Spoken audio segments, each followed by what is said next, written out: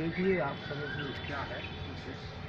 ये पीपल का वृक्ष है, ये बरगद का वृक्ष पीपल की डाल में बरगद की वृक्ष पीपल की डाल में बरगद की वृक्ष ये इधर देखिए आप।